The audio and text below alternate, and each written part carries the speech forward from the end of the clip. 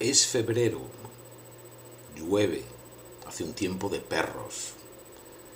La pequeña ciudad parece desierta. Son tiempos duros.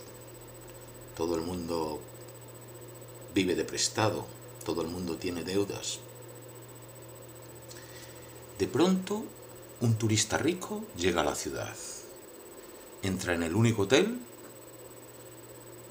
saca un billete de 100 euros o dólares de su bolsillo, lo pone en el mostrador de la recepción y sube a ver las habitaciones, a ver cuál escoge.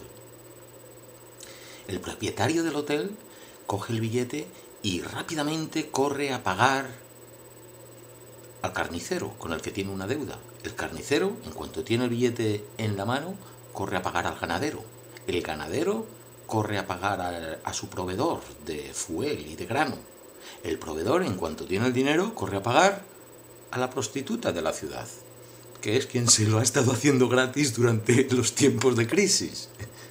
Y la prostituta corre a pagar al propietario del hotel, que es quien le ha estado, la ha estado dejando las habitaciones gratis para hacer su negocio. Y el propietario del hotel pone el billete en el mostrador de vuelta antes de que el turista se entere.